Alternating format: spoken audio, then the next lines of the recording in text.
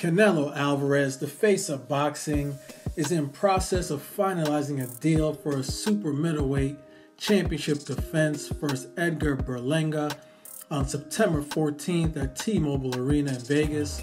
Sources told ESPN on Tuesday, Canelo vs. Berlanga will compete with UFC 306, the first sporting event to be held at the Vegas Sphere. Canelo hasn't scored a knockout since his win over Caleb Sweethand Plant in November of 2021, but he has scored knockdowns in each of his last three victories. I mean, you saw when he connected with that uppercut to Jaime Munguia in his last fight.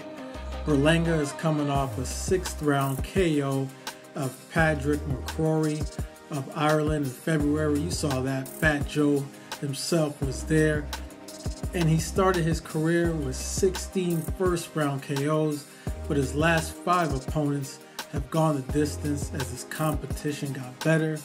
PBC will lead the event on Prime Video pay per view with Matchroom Boxing involved as Berlanga's promoter. The pay per view will also be available on DAZN Matchroom streaming partner. Berlanga went to Twitter earlier today and predicted the fight will do a million pay-per-view buys. Obviously, Berlanga's never fought for a world title. He's he's hyped. This will be his biggest payday. But this is gonna be easy work for King Canelo, the face of boxing. I don't see this going the distance. Canelo has been there, done that. He's gonna be calm as ever.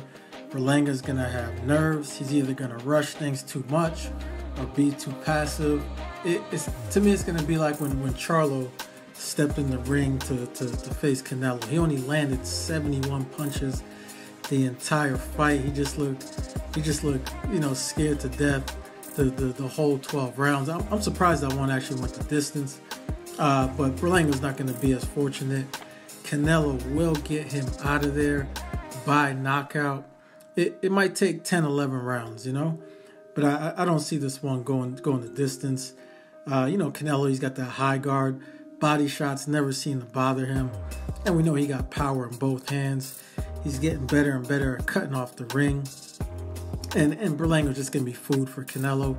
Easy work. I know people are fuming. They're saying, "Why is this guy dunking the mon- the Mexican monster David Benavidez? You're gonna have to wait. I truly believe that fight will happen next year. Not too sure when, maybe May or September next year, but it will happen. I, I really believe that. But Canelo's gonna stay active. David Benavidez, he should consider doing the same thing. You know, ring rust is a real thing. You know, activity does matter. And uh, again, this is easy work for for Canelo. Uh, but you know, props to to Berlanga for for securing this fight, getting the biggest payday of his career. Uh, hopefully, after this, you know, he fights Caleb Plant. Um, you know, maybe end of year, early next year. We shall see. But that's all I got. Be sure to leave a comment down below. Share, like, and subscribe to Droffats TV. Until next time, I'm out of here.